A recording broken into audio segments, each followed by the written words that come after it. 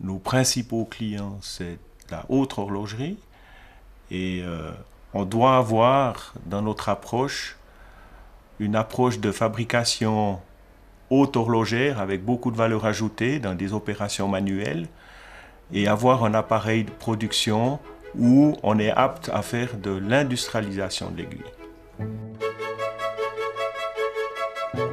Dans l'aiguille, nous partons de matières premières telles que l'acier ou le laiton ou des métaux précieux.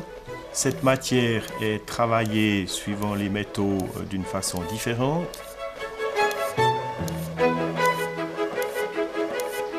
À partir de la découpe de l'aiguille, où on appelle nous un semi-fini, vous avez toute la partie sur les aiguilles acier de formatage et de préparation.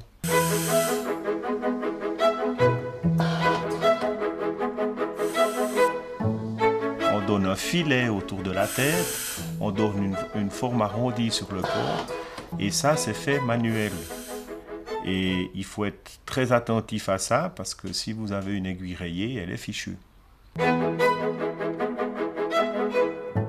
Alors, en ce qui nous concerne, par rapport à, ce qui se fait dans l'horlogerie suisse ou même étrangère, euh, nous n'avons pas une collection à proposer à nos clients. Nous avons fait du sur-mesure. C'est-à-dire que chacun de nos clients, on a créé ensemble des outils ou des formes qui sont euh, spécifiquement réservés aux clients et qui n'est pas utilisé à, d'autres marques. Vous avez tout ce qui est dans la partie seconde, petit compteur ou chronographe.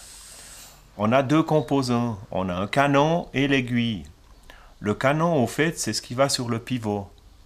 Alors, comme on ne peut pas faire la préparation euh, industriel, on doit passer par une approche de deux composants.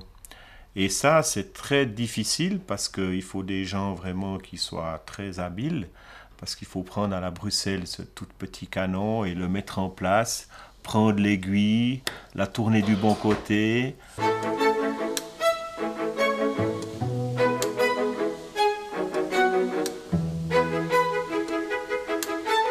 on est dans un domaine très petit.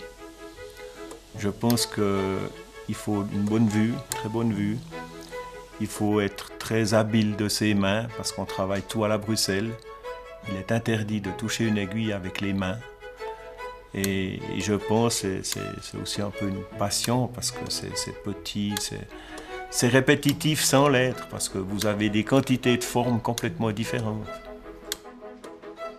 il est clair qu'il y a certaines opérations où les, les aiguilles sont identifiées pièce à pièce.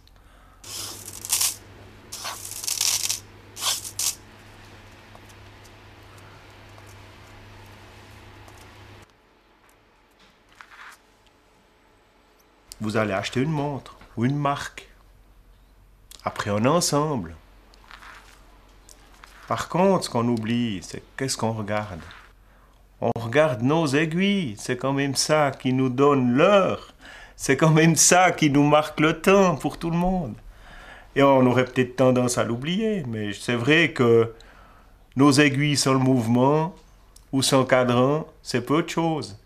Mais c'est vrai que c'est qu'un élément, on a, tendance à, à oublier, mais c'est celui qu'on le garde le plus souvent sans le savoir.